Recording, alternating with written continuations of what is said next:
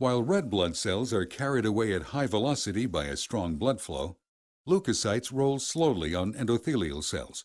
P-selectins on endothelial cells interact with PSGL1, a glycoprotein on leukocyte microvilli. Leukocytes, pushed by the blood flow, adhere and roll on endothelial cells because existing interactions are broken, while new ones are formed.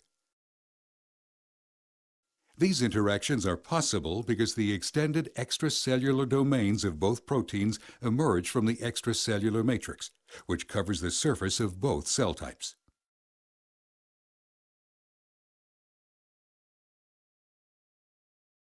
The outer leaflet of the lipid bilayer is enriched in sphingolipids and phosphatidylcholine.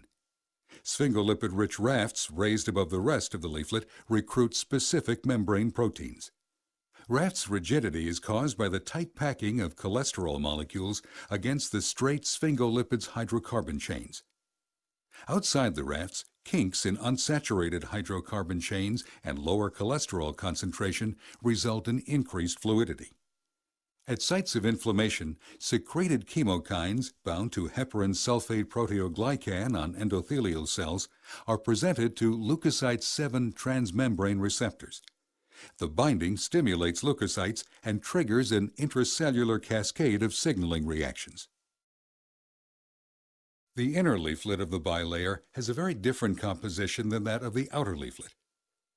While some proteins traverse the membrane, others are either anchored into the inner leaflet by covalently attached fatty acid chains or are recruited through non-covalent interactions with membrane proteins. The membrane-bound protein complexes are critical for the transmission of signals across the plasma membrane. Beneath the lipid bilayer, spectrin tetramers arranged into a hexagonal network are anchored by membrane proteins.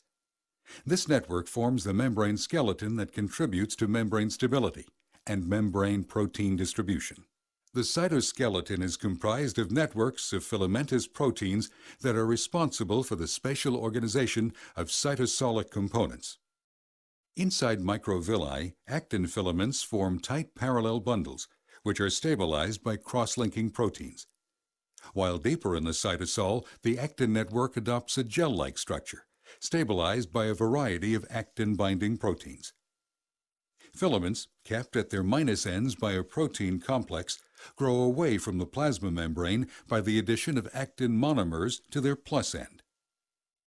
The actin network is a very dynamic structure, with continuous directional polymerization and disassembly. Severing proteins induce kinks in the filament, and lead to the formation of short fragments that rapidly depolymerize or give rise to new filaments. The cytoskeleton includes a network of microtubules created by the lateral association of protofilaments, formed by the polymerization of tubulin dimers.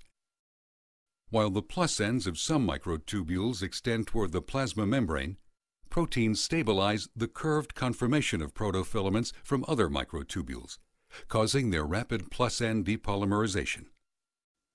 Microtubules provide tracks along which membrane-bound vesicles travel to and from the plasma membrane. The directional movement of these cargo vesicles is due to a family of motor proteins linking vesicles and microtubules. Membrane-bound organelles like mitochondria are loosely trapped by the cytoskeleton. Mitochondria change shape continuously, and their orientation is partly dictated by their interaction with microtubules. All the microtubules originate from the centrosome, a discrete fibrous structure containing two orthogonal centrioles and located near the cell nucleus.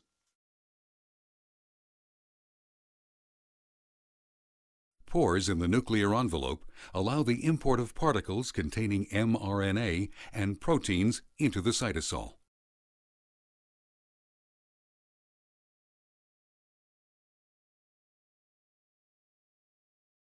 Here, free ribosomes translate the mRNA molecules into proteins. Some of these proteins will reside in the cytosol.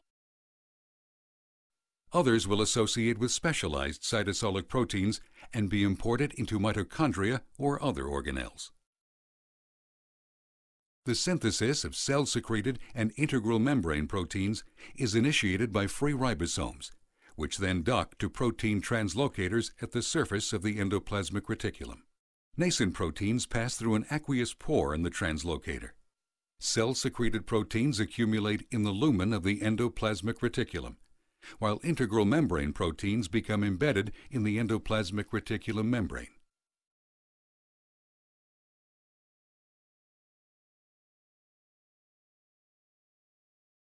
Proteins are transported from the endoplasmic reticulum to the Golgi apparatus by vesicles traveling along the microtubules.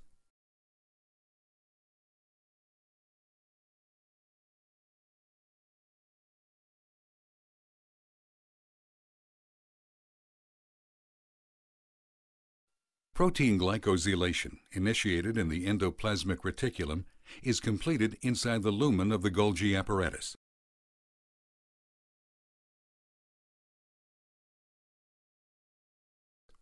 Fully glycosylated proteins are transported from the Golgi apparatus to the plasma membrane.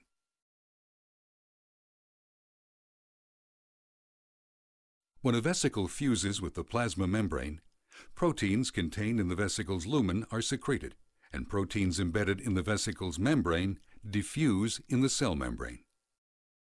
At sites of inflammation, chemokines secreted by endothelial cells bind to the extracellular domains of G-protein coupled membrane receptors. This binding causes a conformational change in the cytosolic portion of the receptor and the consequent activation of a subunit of the G protein. The activation of the G protein subunit triggers a cascade of protein activation, which in turn leads to the activation and clustering of integrins inside lipid rafts. A dramatic conformational change occurs in the extracellular domain of the activated integrins. This now allows for their interaction with ICAM proteins displayed at the surface of the endothelial cells. These strong interactions immobilize the rolling leukocyte at the site of inflammation. Additional signaling events cause a profound reorganization of the cytoskeleton, resulting in the spreading of one edge of the leukocyte. The leading edge of the leukocyte inserts itself between endothelial cells, and the leukocyte migrates through the blood vessel wall into the inflamed tissue. Rolling, activation, adhesion, and transendothelial migration are the four steps of a process called leukocyte extravasation.